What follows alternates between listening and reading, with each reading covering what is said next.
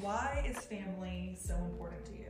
Family is very important to me because I come from like a kind of a splintered family. I didn't know my biological father. I met his entire extended family when I was about 25. My husband found them and even my family of origin that I grew up in, there were multiple divorces at my grandparents' level and in, you know, at my parents' level.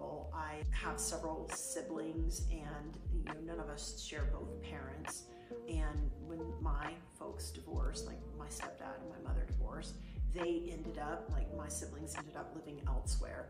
And so on the, on the one hand, I have a very big family but it's not super close family. And it's always been important to me to try to help bridge those distances that are inevitable sometimes. Like, I would like to keep my three adult children close to me. Now, I would love it if, you know, maybe they all lived next door and my grandchildren came running over to my house. But realistically, that's not going to happen. And so I think being able to cultivate relationship given the realities of a family versus maybe what you know are the ideals that are presented make all the difference in the world